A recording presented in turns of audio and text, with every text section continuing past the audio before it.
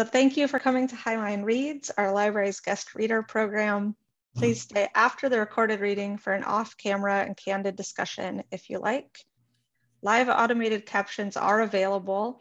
If the captions didn't show up for you automatically, click on the live transcript button at the bottom of your screen to view subtitles. You can also click, uh, you can also view the full transcript so you can see what was said earlier. And if you'd rather not see the captions, you can turn them off by selecting hide, sub, hide subtitle. Before we start our program, we'd like to share a land acknowledgement. We would like to recognize the indigenous people whose land we are on today. Highline College itself and where many of us live and work resides on ancestral native lands of the Duwamish Nation. And depending on where you are exactly in this region, many of us live and work on the Muckleshoot, Duwamish, and Puyallup Nations indigenous lands. We honor the land and give gratitude to the First Nations people who are here, who continued to steward this land since time immemorial. To learn more about native land, check out the Native Land Project, an interactive map that we'll link to in the chat. We also encourage you to learn more about Indigenous studies to our library resource guide, which will also be linked in the chat. This guide includes books, ebooks, and websites revolving around Native Americans and Indigenous studies. Um, if you have additional suggestions for information resources to add to the guide, please reach out to us. And if you're able, we also encourage you to consider taking action um, by donating to, to, a cause such as Real Rent Duwamish. Further, we respectfully acknowledge the enslaved people, primarily of African descent, who provided exploited labor on which this country was built, with little to no recognition. Today, we're indebted to their labor and the labor of many Black and Brown bodies that continue to work in the shadows for our collective benefit. We encourage you to learn more about Black studies on our library resource guide, um, which will be linked in the chat. And again, if you have um, suggestions for additional information, please reach out to the Highline librarians. Okay, thank you all. Without further ado, I would like to introduce Umoja Black Scholar student Sierra Farmer. Sierra will be reading from Sister Outsider, Essays and Speeches by Audre Lorde. This book was published by the Crossing Press in 1984 and please stay after for an optional brief discussion if you're able. Um, during the next 30 minutes, we ask that you keep your questions and comments in the chat and a librarian will be sharing related links and respond in the chat during the reading. After the reading, we'll end the recording and welcome everyone to stay for a brief conversational discussion. So that's all for housekeeping details. Everyone get comfortable and welcome Sierra. Hi, everybody. Thank you for joining us today. Um, as it was said, I'm going to be reading Essays and Speeches by Audre Lorde, and I wanted to start by reading a blurb on the back to give kind of a background information for anybody who may not be um, familiar with her. So it says, a writer, activist, and mother of two, Audre Lorde grew up in 1930s Harlem. She earned a master's degree in library science from Columbia University, received a National Endowment for the Arts grant for, for poetry and was New York State's poet from 1991 to 1993.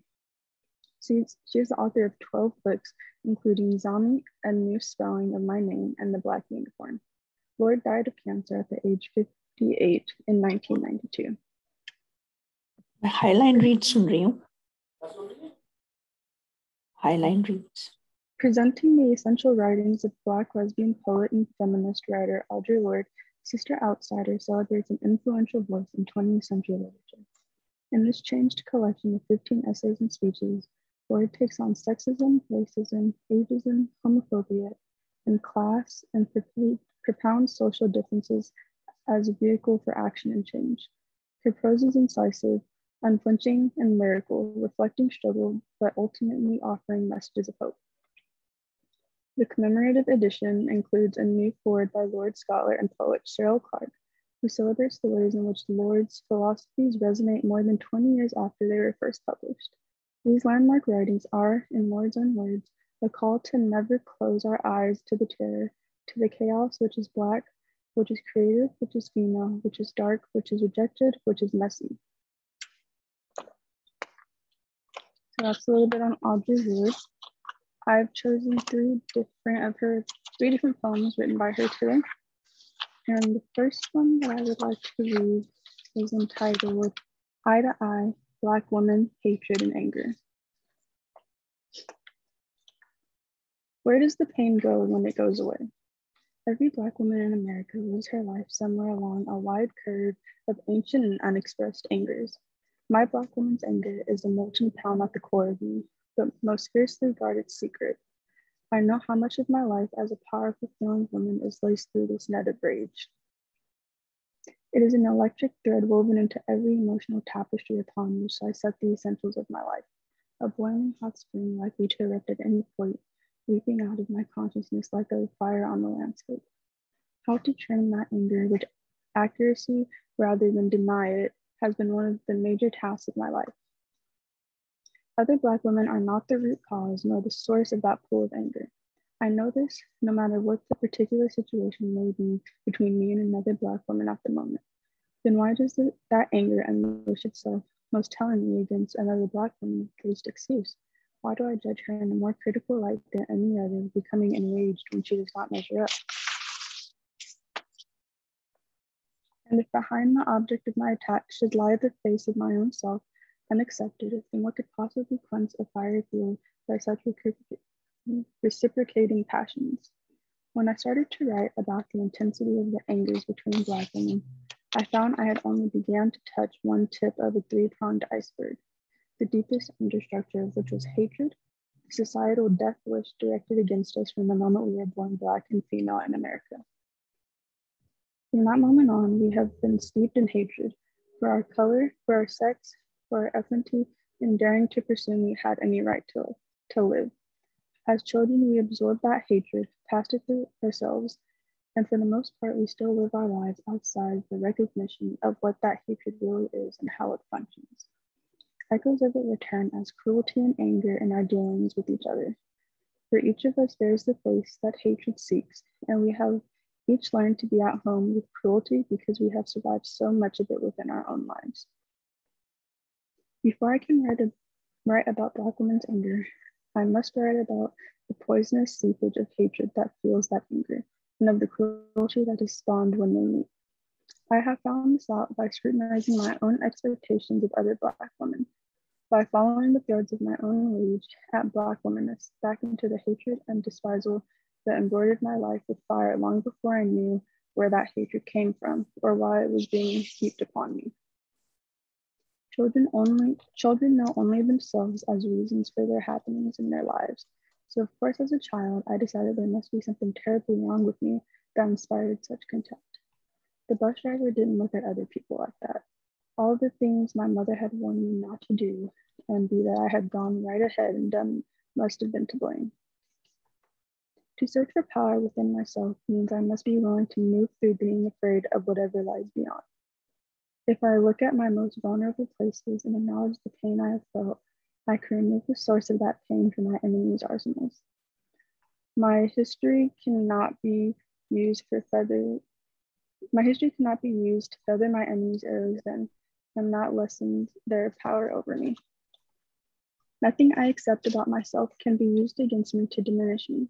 I am who I am, doing what I came to do, acting upon you like a drug or cheese to remind you of your meanness as I discover you in myself. America's measurements of me has lain like a barrier across the realization of my own powers. I was a barrier which I had to examine and dismantle piece by piece in order to use my energies fully and creatively. It is easier to deal with the external manifestations of racism and sexism than it is to deal with the results of those dissertations internalized within our consciousness of ourselves and one another. But what is the nature of that to connect with each other on any but the most superficial levels? What is the source of that mistrust and distance between Black women? I don't like to talk about hate. I don't like to remember the cancellation and hatred, heavy as my wish for death, seen in the eyes of so many white people from the time I could see. It was echoed in newspapers and movies, in holy pictures and comic books, and Amos and Andy radio programs. I had no tools to dissect it, no language to name it. The AA subway train to Harlem. I clutched my mother's sleeve, her arms full of shopping bags, Christmas heavy. The wet smell of winter clothes, the train's lurching. My mother spots an almost seat, pushes my little snow-suited body down. On one side of me, a man reading a paper. On the other, a woman in a fur hat staring at me. Her mouth twitches as she stares, and then her gaze drops down, pulling line with it. Her leather gloved hand flecks up the line where my new blue snow pants and her sleek fur coat meet. She jerks her coat closer to her. I look. I do not see whatever terrible thing she is seeing on the seat between us. Probably a roach, but she has communicated her horror to me. I, it must be something very bad from the way she's looking, so I pull my snowsuit closer to me, away from it too. When I look up, the woman is still staring at me, her nose holes and eyes huge. Then suddenly, I realize there is nothing crawling up the seat between us. It is me she doesn't want her coat to touch. The fur brushes past my face as she stands with a shoulder, with a shudder, and holds on to a strap in the speeding train. Born and bred a New York City child, I quickly slide over to make room for my mother to sit down. No word has been spoken. I'm afraid to say anything to my mother because I don't know what I've done. I look at the side of my snow pants secretly. Is there something on them? Something's going on here I do not understand, but I will never forget it. Her eyes, the flared nostrils, the hair. My three year old eyes ache from the machinery used to test them. My forehead is sore. I have been poked and prodded in the eyes and stared into all morning. I huddle into the tall metal and leather chair, frightened and miserable and wanting my mother. On the other side of the eye clinic examining room, a group of young white men in white coats discuss my peculiar eyes. Only one voice remains in my memory. From the looks of it, from the looks of her, she's probably simple too. They all laugh. One of them comes over to me, enunciating slowly and carefully. Okay, girlie, Go wait outside now. He pats me on the cheek. I'm grateful for the absence of harshness. The story hour librarian reading Little, Black, Little Black Sambo. Her white fingers hold up a little book about a shoe button faced little boy with big red lips and many pigtails and a hat full of butter. I remember the pictures hurting me and my thinking again, there must be something wrong with me because every, everybody else is laughing and besides, the library downtown has given this book title a special prize, the library ladies tells us. So what's wrong with you anyway? Don't be so sensitive. Sixth grade in a new Catholic school, and I'm the first student. The black girls laugh at my braided hair. The nun sends a note home to my mother saying that pigtails are not appropriate attire for school, and that I should learn to comb my hair in a more becoming style. Lexi Goldman and I are on Lexington Avenue our adolescent faces flushed from springtime and our dash out of high school. We stop at luncheonette and ask for water. The woman behind the counter smiles at Lexi, gives us water. Lexi's in a glass, mine in a paper cup. Afterward, we joke about mine being portable too loudly. My first interview for a part-time job after school. An optical company on Massey Street has called my school and asked for one of its students. The man behind the counter reads my application and looks up at me, surprised by my black face. His eyes remind me of the woman on the train when I was five. Then something else is added, and he licks me up and down, pausing at my breast. My light skinned mother kept me alive within an environment where my life was not a high priority. She used whatever method she could at hand, few as they were. She never talked about color. My mother was a very brave woman, born in the West Indies, unprepared for America and she disarmed me with her silences. Somewhere I knew it was a lie that nobody else noticed. Me, darker than my two sisters, my father, darkest of all. I was always jealous of my sisters because my mother thought they were such good girls, whereas I was bad, always in trouble, full of the devil, she used to say. They were neat, I was untidy. They were quiet, and I was nosy. They were well behaved, I was rowdy. They took piano lessons and won prizes in the department. I stole money from my father's pockets and broke my ankle sledding downhill. They were good looking, I was dark. Bad, mischievous, a born troublemaker, if there ever was one. Did bad mean black? the endless scrubbing with lemon juice in the cracks and crevices of my ripening, darkening body. And oh, the sin of my dark elbows and knees, my gums that fold back, and my neck in the cave of my armpits.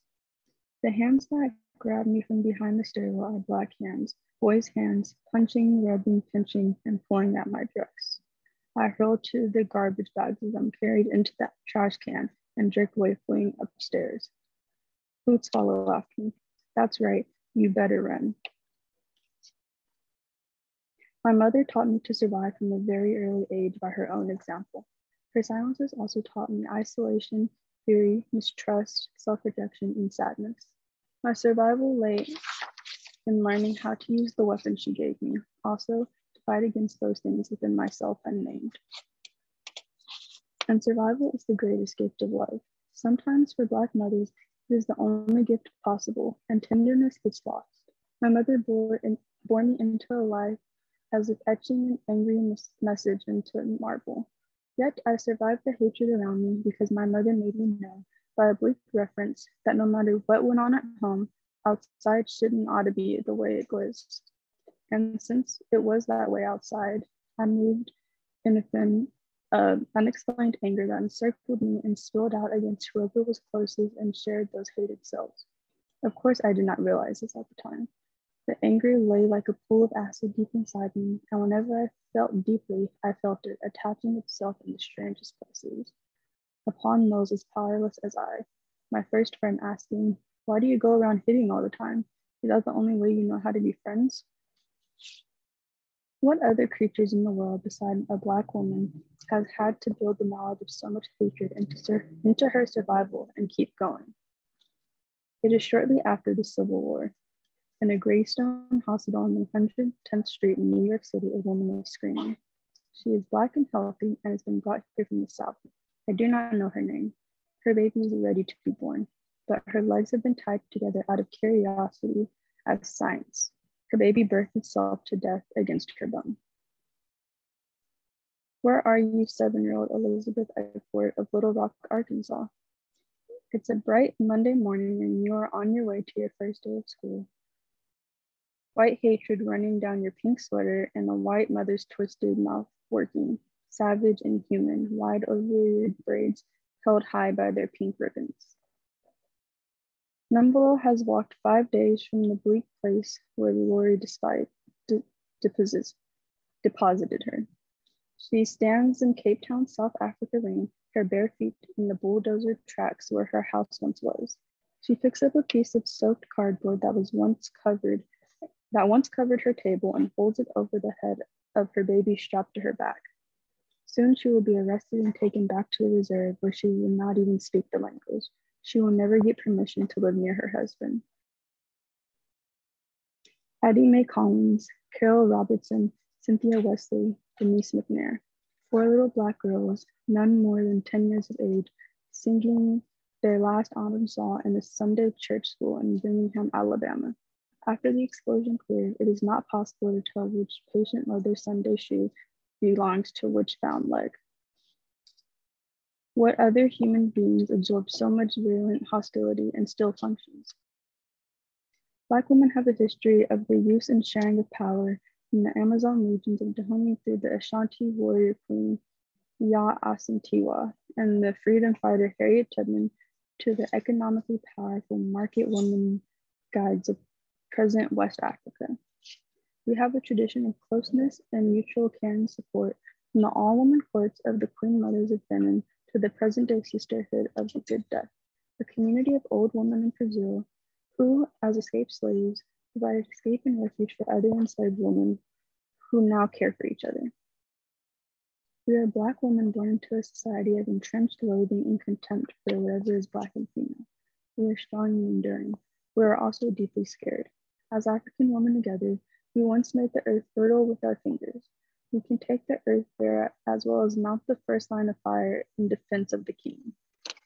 And having killed in his name and in our own, Harriet's rifle speaks, shouldered in the grim marsh, we still know that the power to kill is less than the power to create, for it produces an ending rather than the beginning of something new. Anger, a passion of displeasure that may be excessive or misplaced, but not necessarily harmful. Hatred, an, emotionally ha- an emotional habit or attitude of mind in which aversion is coupled with ill will. Anger used does not destroy, hatred does. Racism and sexism are grown up words. Black children in America cannot avoid these distortions in their living and, too often, do not have the words for naming them, but both are correctly perceived as hatred. Growing up, metabolizing hatred like a daily bread. Because I am Black, because I am woman, because I am not Black enough, because I am not some particular fantasy of a woman, because I am. On such a consistent diet, one can eventually come to value the hatred of one's enemies more than one values the love of friends, for that hatred becomes a source of anger, and anger is a powerful fuel. And true, sometimes it seems that anger alone keeps me alive. It burns with a bright and undiminished flame. Yet anger, like guilt, is an incomplete form of human knowledge. More useful than hatred, but still limited. Anger is useful to help clarify our differences, but in the long run, strength that is bred by anger alone is a blind force which cannot create the future.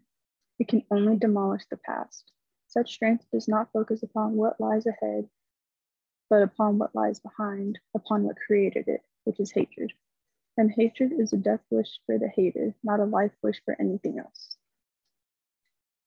To grow up metabolizing hatred like daily bread means that eventually every human interaction becomes tainted with the negative passion and intensity of its byproducts, anger and cruelty.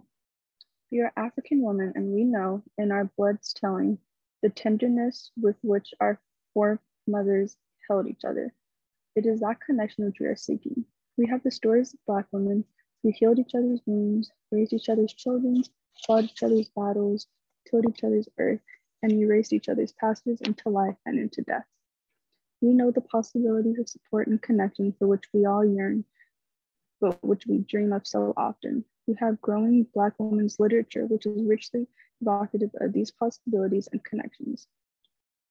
But connections between Black women are not automatic by virtue of our similarities, and the possibilities of genuine connection between us are not easily achieved. Often we give lip service, we often give lip service to the idea of mutual support and connection between Black women because we have not yet crossed the barriers to these possibilities, nor fully explored the angers and fears that keep us from realizing the power of the real Black sisterhood. And to acknowledge our dreams is to sometimes acknowledge the distance between those dreams and our present situation.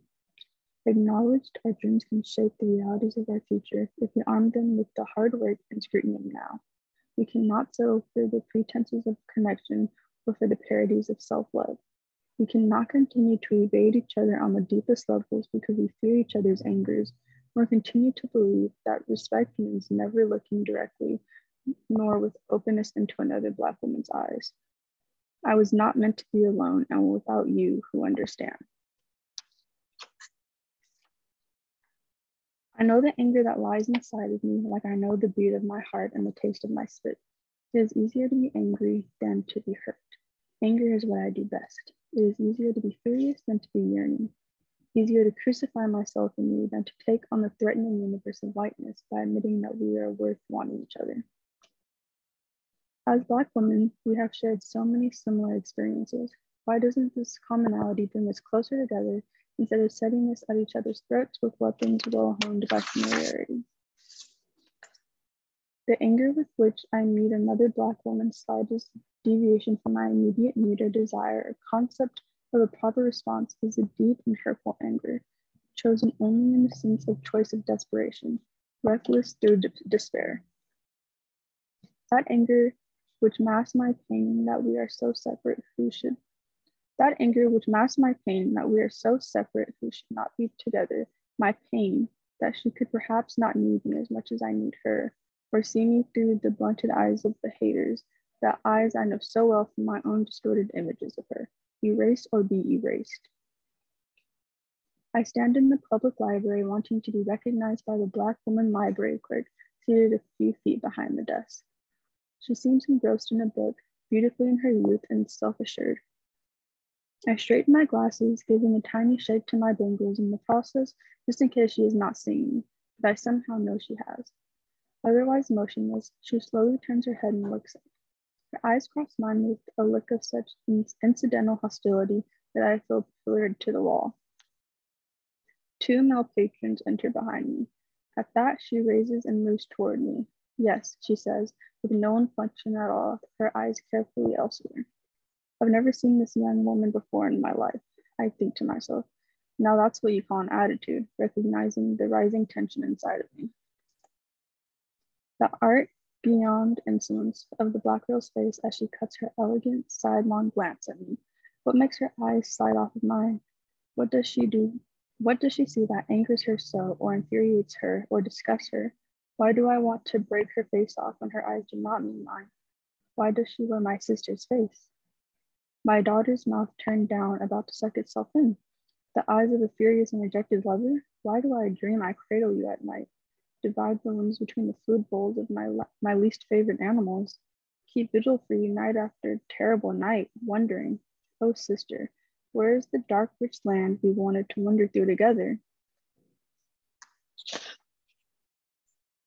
My blood sister across her living room from me, sitting back in, the in her chair while I talk earnestly, trying to reach her, trying to alter the perceptions of me that caused her so much pain. Slowly, carefully, and coldly, I will not miss one single scratching, scaffing word, she says. I am not interested in understanding whatever you're trying to say. I don't care to hear it.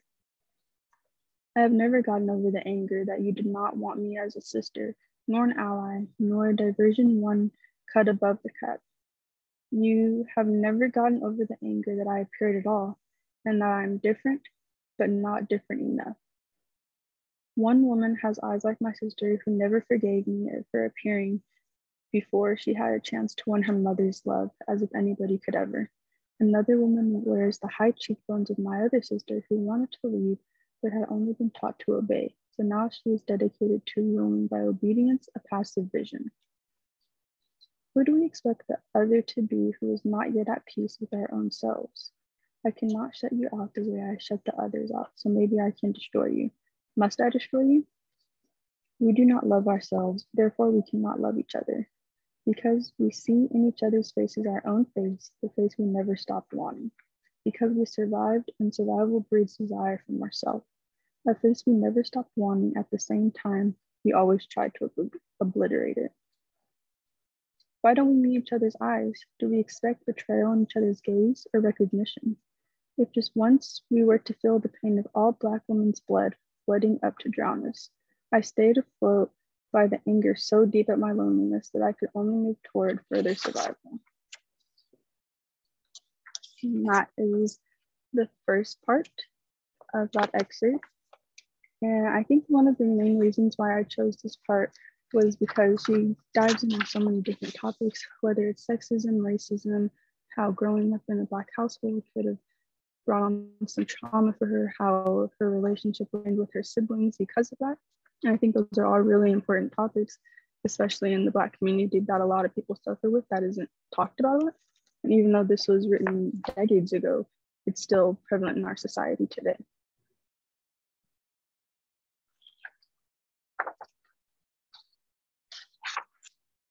Yes, that was the first one. And then the next one I wanted to read is entitled Sierra. I yes. I think we were gonna do a discussion, yeah, because it is one. It's about 1.30. Oh, it is 1.30. Oh, okay. I didn't see the time. Yeah, that's right. Yeah, that was my thoughts on it. If anybody has anything else they'd like to share on that expert.